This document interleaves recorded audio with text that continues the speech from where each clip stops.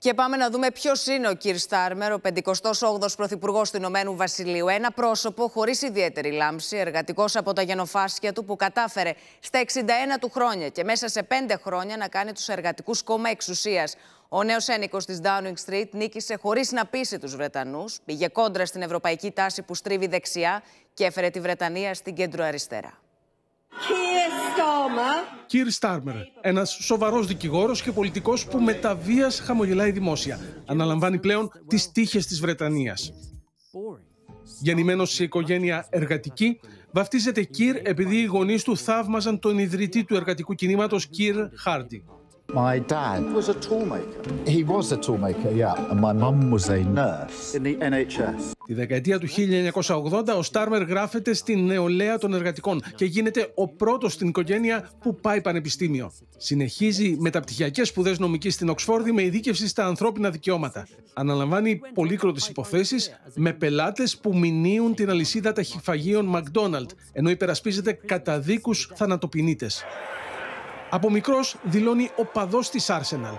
When I was growing up, I didn't go to games because we didn't have the money to go to games until I was an adult living in London. And then we'd go down to the old stadium and watch four quid to get in through the turnstile.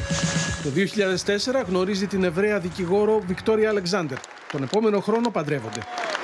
Το 2008 ορίζεται επικεφαλής στην υπηρεσία ποινικών διώξεων του στέματος και διευθύνει τις επιχειρήσεις κατά υπόπτων τρομοκρατίας, ενώ φέρνει ρηξικέλευτη νομοθεσία προστασίας των θυμάτων βιασμού.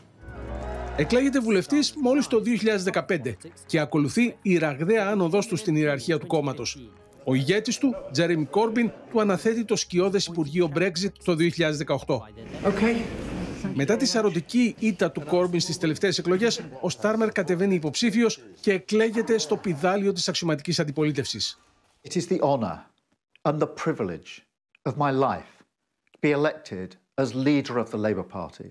Βρίσκει ένα κόμμα σε αποσύνθεση και μέσα σε πέντε χρόνια το καθιστά και πάλι εκλέξιμο, απομακρύνοντας τον παλιό του ηγέτη Τζέρεμι Κόρμπιν.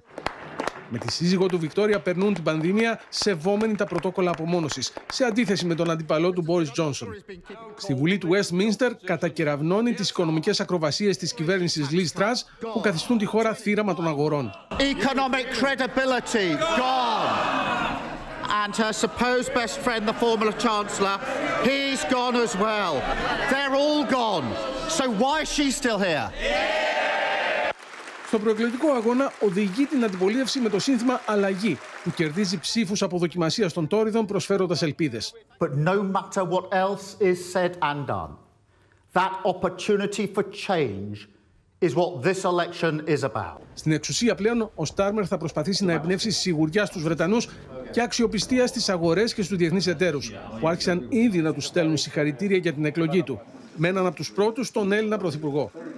Έχοντας μητέρα νοσοκόμα, ασχολείται ενεργά με τα προβλήματα που έχει το καμάρι της χώρας, το Εθνικό Σύστημα Υγείας, το οποίο σχεδιάζει να ενισχύσει και να περιορίσει τις λίστες αναμονής.